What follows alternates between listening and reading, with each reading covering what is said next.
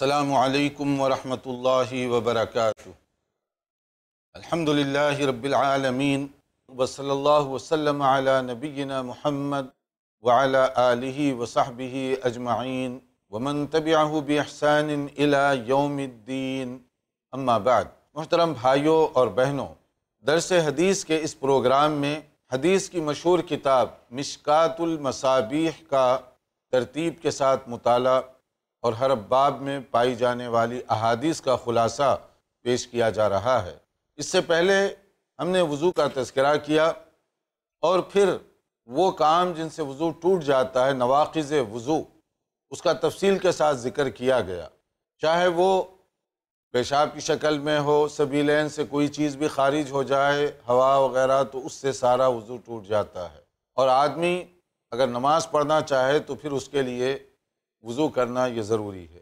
اسی سلسلے میں اور کچھ احادیث اور مسائل حدیث کی اس مشہور کتاب مشکات میں ذکر کیے گئے ہیں۔ ان میں سے ایک کے کھانے پینے سے کیا وضو ٹوٹ جاتا ہے؟ اگر کوئی چیز آدمی کھا لے تو وضو کرنا ضروری ہے اس کے لیے، تو اس کا بہت سیدھا سا جواب ہے کہ نہیں ہے۔ اس لیے کہ کھانے پینے سے وضو سے کوئی فرق نہیں پڑتا۔ جیسے دیکھیے بکری کے گوشت کے بارے میں یعنی لیم، شیپ وغیرہ کے بارے میں پوچھا گیا نبی کریم صلی اللہ علیہ وسلم سے اور آپ کا عمل بھی بتایا گیا کہ فرمایا گیا، اکلا کتف شاطن ثم مسلح ولم یتوضا، کہ رسول اللہ صلی اللہ علیہ وسلم نے بکری کا شولڈر سمجھ لیجیے، آج کی اصطلاح میں دستی، گوشت، وہ آپ نے تناول فرمایا اور اس کے بعد آپ نے نماز ادا کی مگر وضو نہیں کیا۔ بخاری اور مسلم کی یہ حدیث ہے۔ تو اس کا مطلب ہے کہ بکری کا گوشت اگر کوئی کھائے، ظاہر ہے کہ بکری کا گوشت کچا تو نہیں کھایا جائے گا۔ ایک اور حدیث میں اس کی وضاحت ہے کہ بھونا ہوا تھا وہ۔ نبی صلی اللہ علیہ وسلم نے تناول فرمایا اور اس کے بعد آپ نے نماز ادا کی۔ تو اس میں سمجھنے کی جو بات ہے کہ اگر کوئی کھانا کھائے یا گوشت وغیرہ کھائے تو اس کی وجہ سے وضو اس کے لیے ضروری نہیں ہے۔ اونٹ کے بارے میں جیسے نبی صلی اللہ علیہ وسلم سے پوچھا گیا ان من لحوم الغنم، کیا ہم بکری کا گوشت کھائیں تو پھر وضو کریں؟ قال، ان شئت۔ آپ نے فرمایا، اگر تم چاہو تو کر لو۔ تو ضروری نہیں ہے، اسی لیے اس کو اختیار دیا گیا۔ اگر تم چاہو تو کر لو۔ وہ ان شئت فلا تتوضا اور اگر دل نہیں چاہ رہا تو وضو مت کرو۔ اختیار ہے۔ پھر پوچھا گیا، قال ان من لحوم الابل؟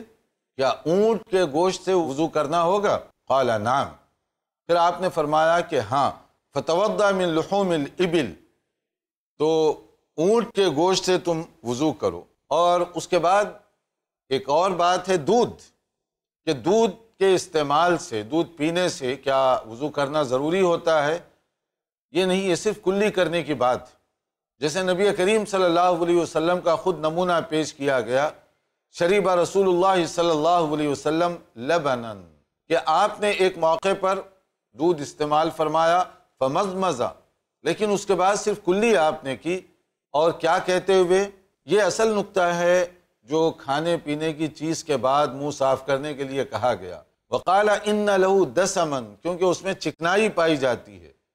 اگر پیور دودھ ہو، تو اس کی ایک چکنائی ہوتی ہے اور اس کا اثر کچھ دیر تک آدمی کے منہ میں رہتا ہے۔ اس لیے اگر وہ دودھ پینے کے بعد، اور خاص طور پہ اونٹنی کا دودھ جو بڑا ہیوی ہوتا ہے، وہ دودھ پینے کے بعد فوری طور پر نماز میں ٹھہر جائے، تو کافی دیر تک اس کی لذت آتی رہے گی۔ اور یا اسی طرح سے اگر کوئی آدمی بھینس کا دودھ، گائے کا دودھ وغیرہ استعمال کرتا ہے، تو اس کے لیے یہ ادب بتایا گیا کہ آپ کلی کر لیجیے نماز پڑھنے سے پہلے، تاکہ نماز میں جب ٹھہریں تو منہ صاف ستھرا ہو۔ اور ایک موقع پر نبی صلی اللہ علیہ وسلم نے ستو، سویق، یہ آپ نے کھایا۔ تو ستو جو ہے عام طور پر آٹا اور اس کے اندر کچھ اور مختلف چیزیں ڈال کر اس کو بنایا جاتا ہے۔ عموماً پہلے قدیم زمانے میں سفر وغیرہ پر جو لوگ نکلتے، وہ اپنے توشے کے طور پر یہی چیزیں ساتھ رکھا کرتے تھے۔ ایک تو یہ ڈرائی ہوتی ہیں خشک جہاں بھی ضرورت پڑی، جتنی مقدار میں کھانا ہو، اتنا لے لیں، اس میں پانی ڈال لیں، پانی میں بھگو کر، اس کے بعد اس کو تناول کر لیں۔ تو ایک تو خراب ہونے کا کوئی خطرہ نہیں ہوتا تھا۔ اور دوسرے، اس کے کھانے کے لیے کوئی بہت زیادہ تکلفات کی ضرورت نہیں ہے کہ چولہا کہاں سے جلائیں گے، لکڑی کہاں سے لائیں گے، آگ کہاں سے۔ یہ سب چیزوں کی ضرورت نہیں ہوتی۔ ساری چیزیں بنی بنائی گویا اسی آٹے کے اندر ہیں۔ اور آپ صرف پانی ملائیں اور اس کو کھا لیں۔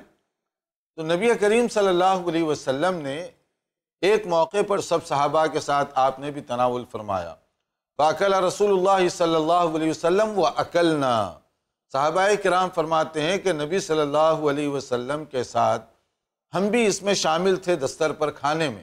اور دستر سے مراد کوئی بہت پرتکلف نہیں، صرف ستو ہی تھا وہاں پر۔ اور اس کے بعد کیا ہوا؟ ثم قام الى المغرب۔ تو آپ مغرب کی نماز کے لیے توجہ فرما رہے تھے کہ اب مغرب کی نماز کا ٹائم ہو گیا تو فمد مدا، تو آپ نے صرف کلی کی۔ وضو نہیں کیا، صرف کلی کی۔ وہ مز مزنا، تو ہم نے بھی کلی کی۔ تم صلی ولم یتوضا۔ پھر آپ نے نماز ادا کی اور وضو نہیں کیا۔ یہ صحیح بخاری کی حدیث ہے۔ اب دیکھیے، یہ بعض چیزیں جو اس میں ذکر کیا گیا، دودھ کے بعد، ستو کھانے کے بعد اور گوشت کھانے کے بعد، آپ نے الگ سے وضو نہیں کیا۔ تو اس میں نقطہ یہ ہے کہ اگر باوضو آدمی کھانا کھائے تو کیا دوبارہ اس کو وضو کرنے کی ضرورت پڑے گی؟ یہ ہے سمجھنے کی بات یہ ساری احادیث سے تو اس میں دوبارہ وضو کی ضرورت نہیں ہے، بس وہ اپنی کلی کر لے اور اس کے بعد نماز پڑھ سکتا ہے وہ۔ اسی طرح سے کھانے کے بعد اگر آپ ہاتھ چاہیں تو دھو لیں، یہ اچھی بات ہے۔ اور اگر ہاتھ آپ پوچھ لیتے ہیں، صاف کر لیتے ہیں کسی چیز کے ذریعے سے تو بھی آپ کے لیے یہ درست ہے۔ جیسے نبی کریم صلی اللہ علیہ وسلم سے دونوں چیزیں ہیں۔ بعض موقعوں پر آپ نے انگلیاں اپنی نماز سے پہلے آپ نے دھوئیں اور اس کے بعد آپ نماز کے لیے ٹھہرے۔ اور کبھی صرف آپ نے اس کو پوچھ دیا کوئی کپڑا وغیرہ سے۔ جیسے ایک موقع پر کہ آپ بھنی ہوئی بکری کا گوشت تناول فرما رہے تھے اکلا رسول اللہ صلی اللہ علیہ وسلم کتفن کہ نبی کریم صلی اللہ علیہ وسلم نے ایک شولڈر یعنی دستی حصہ بکری کا، اس کا گوشت تناول فرمایا تم مسح یدہ بمسحن، کان تحتہ، ثم قام فصلہ پھر آپ جس پر بیٹھے ہوئے تھے، کوئی ٹاٹ وغیرہ، کوئی ایسی چیز تھی کپڑے کی، آپ نے اپنا ہاتھ پوچھ کر صاف کر لیا، پھر اس کے بعد آپ نماز کے لیے ٹھہرے اور آپ نے نماز ادا کی۔ تو اس میں دو باتیں ہیں۔ ایک تو نماز سے پہلے آپ نے کوئی تازہ وضو نہیں کیا، تو یہ مسئلہ کلیئر ہوا۔ کہ گوشت کھانے کے بعد وضو کرنا ضروری نہیں ہے۔ دوسرا یہ ہے کہ آپ نے صرف کپڑے سے اپنا ہاتھ صاف کیا۔ تو اس میں بھی یہی بات ہے کہ کلی کرنا یہ بھی ضروری نہیں ہے۔ لیکن اگر آپ سمجھتے ہیں کہ منہ میں تن کے ذرات وغیرہ باقی ہیں، کلی کر لیں۔ لیکن مسئلے کے اعتبار سے دونوں چیزیں ہیں۔ ایک موقع پر آپ نے کلی کی اور دوسرے موقع پر آپ نے پانی کو ٹچ ہی نہیں کیا۔ ویسے ہی گوشت کھانے کے بعد آپ نماز کے لیے ٹھہر گئے اور آپ نے نماز ادا کی۔ اور اس میں ایک اور چیز ہے کہ کپڑا وغیرہ اس کے ذریعے سے پوچھنا، صاف کرنا۔ یہ اگر درست ہے تو موجودہ زمانے میں عام طور پر اس کی ایک متبادل شکل ٹیشو پیپر۔ اگر کوئی آدمی ٹیشو کے ذریعے سے اپنا ہاتھ وغیرہ صاف کرتا ہے تو وہ صاف ہو جائے گا۔ تو اس لیے اگر آج کی اصطلاح میں آپ کہیں کہ کوئی آدمی گوشت کھا رہا ہو ٹیشو سے اپنا ہاتھ صاف کر لے اور اس کے بعد نماز کے لیے ٹھہر جائے، تو اس کی نماز ہو جائے گی۔ اس کو الگ سے وضو کرنا یا ہاتھ دھونا یا کلی کرنا یہ ضروری نہیں ہے۔ یہ ساری چیزیں جو ہے اس کے اپنے اختیار پر چھوڑ دی گئی ہیں۔ اگر وہ چاہے تو یہ کر سکتا ہے۔ ایک موقع پر ایسے ہوا کہ ایک مشہور صحابی حضرت انس رضی اللہ عنہ انہوں نے اپنے ہاں دعوت کی، کچھ اور صحابہ کرام کی، جیسے حضرت ابو طلحہ رضی اللہ عنہ وغیرہ۔ کھانے میں گوشت اور روٹی انہوں نے پیش کی۔ تو وہ فرماتے ہیں فاقل نہ لحمم و خبزہ ہم نے گوشت، روٹی کھانے میں تناول کی۔ تم داؤت بھی وضو ان پھر وہ فرماتے ہیں کہ میں نے پانی منگایا، صحابہ نے پوچھا جو مدو تھے لما تودا کیوں وضو کرنا چاہتے ہو؟ فقلت لحاظ تام الذي اکلنا یہ جو کھانا ابھی ہم نے کھایا ہے، اس لیے میں چاہتا ہوں کہ وضو کر لوں۔ فقالا، تو ان دونوں نے کہا اتتوضا من الطیبات کیا یہ پاکیزہ، صاف ستھری چیزیں کھانے کے بعد بھی وضو کی ضرورت ہے تمہارے لیے؟ لم یتوضا من ہو من ہوا خیر من کا جبکہ تم سے بہتر جو ذات گرامی رسول اللہ صلی اللہ علیہ وسلم کی طرف اشارہ کہ آپ نے یہ چیز تناول کی اور اس کے بعد آپ نے وضو نہیں فرمایا۔ احمد ابن حنبل کی یہ روایت ہے۔ یعنی یہ کہ رسول اللہ صلی اللہ علیہ وسلم کی خدمت میں جب یہی کھانا پیش کیا گیا اسی طرح کا روٹی اور گوشت، تو آپ نے اس کے تناول کرنے کے بعد کوئی پھر سے الگ سے وضو نہیں کیا۔ تو ان تمام احادیث کا جو خلاصہ ہے، وہ یہ کہ اگر آدمی کھانے سے فارغ ہو، باوضو آدمی صرف ہاتھ دھو لے اور کلی کر لے، کافی ہے۔ نمبر دو یہ ہے کہ صرف ہاتھ پوچھ لے اگر ٹیشو سے تو بھی کافی ہے اور وہ جا کر نماز ادا کر سکتا ہے۔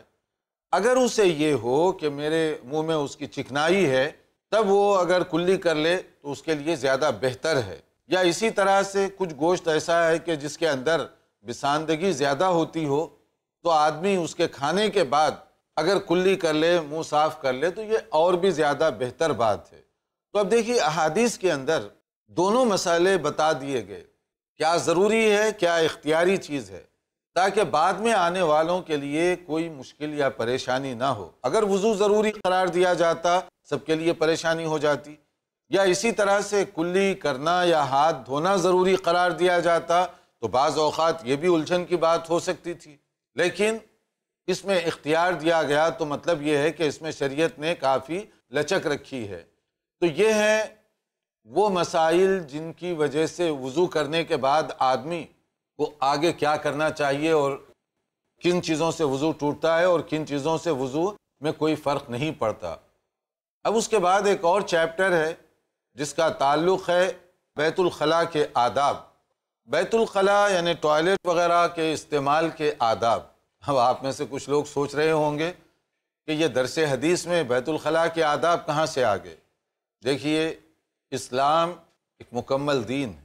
اللہ تعالیٰ کی نعمت ہے ہم مسلمانوں پر کہ اللہ تعالیٰ نے دین کے ذریعے سے ہماری ہر طرح سے رہنمائی فرمائی، کہ اس میں چھوٹی سی چھوٹی بات اور بڑے سے بڑے مسائل سب پیش کر دیے گئے، تاکہ کہیں کوئی تشنگی باقی نہ رہے۔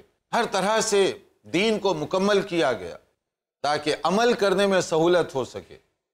اب بیت الخلاء کے آداب یہ انسانی زندگی کا تقاضا ہے۔ کوئی بھی بشر اس کی ضرورت سے تو انکار نہیں کر سکتا۔ جب یہ سب کی ضرورت ہے، یہ فطری تقاضا ہے، تو پھر اس کے آداب بھی تو بیان کرنے چاہیے، اس کے مسائل بھی تو معلوم ہونے چاہیے۔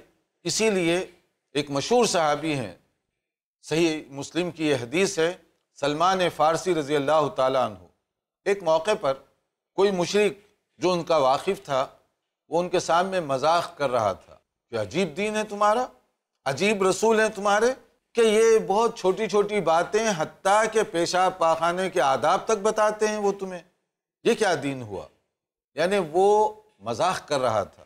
اور وہ یہ نبی صلی اللہ علیہ وسلم جو یہ طریقے اور آداب بتائے ہیں، اس کو وہ دلگی کے طور پر، جوک اور مذاق کے طور پر دیکھ رہا تھا۔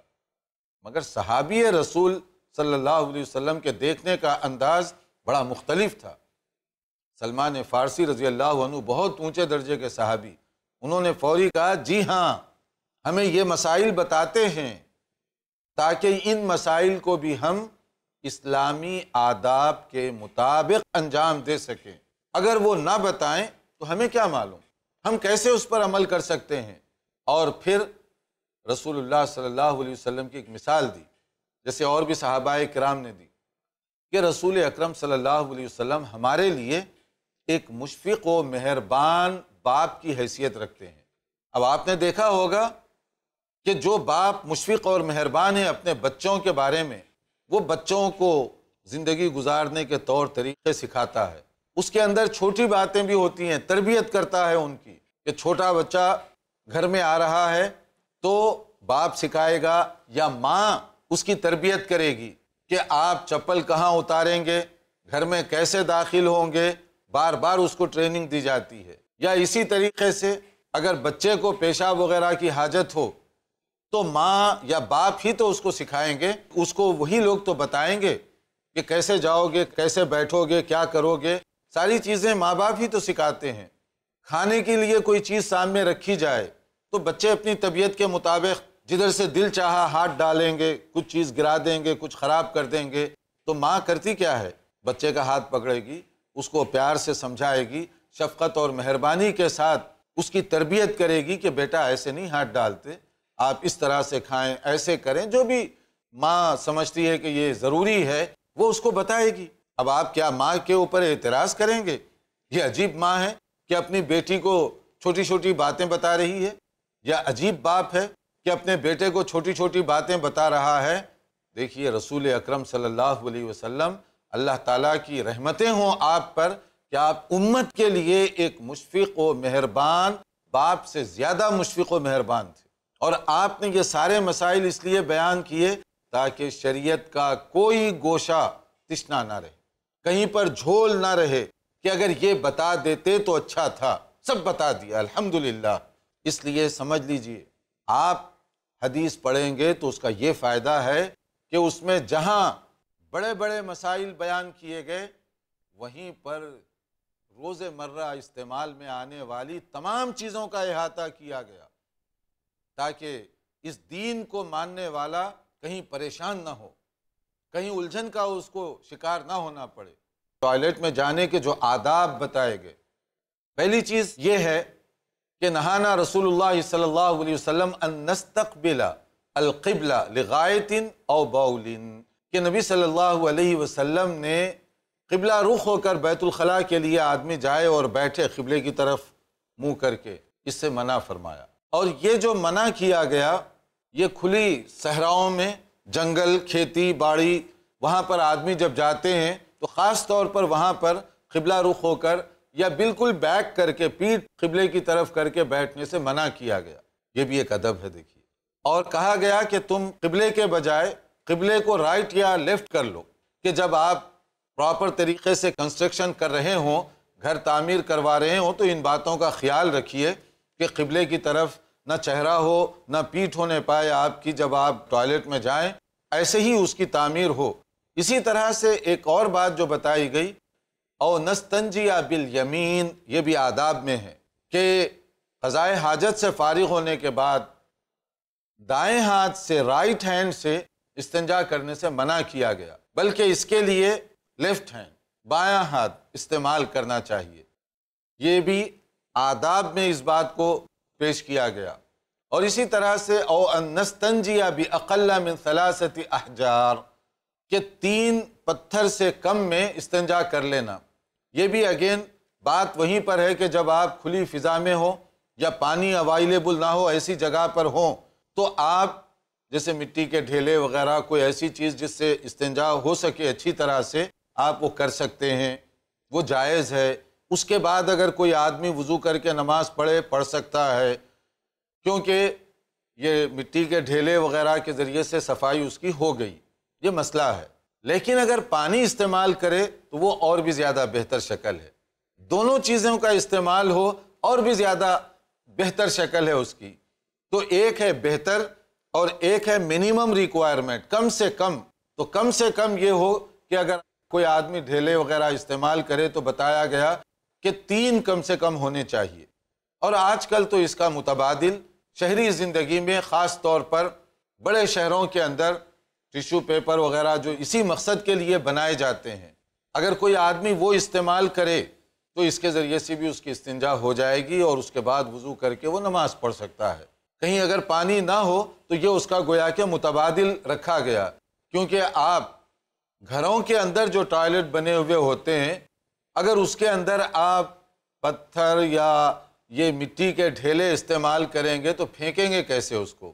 اور اگر آپ اسی کے اندر ڈال دیں گے تو وہ تو سارے کا سارا سسٹم خراب ہو جائے گا آپ کا۔ تو اس میں اگر ٹیشو پیپر کوئی استعمال کر لے تو بھی وہ کر سکتا ہے۔